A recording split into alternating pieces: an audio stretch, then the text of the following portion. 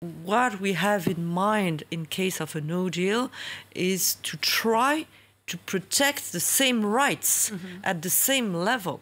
And we uh, push for the British authorities to have the same ambition. But indeed, in case we have a no deal, I want to know first what is going to be the fate of the French citizens. This is my first responsibility.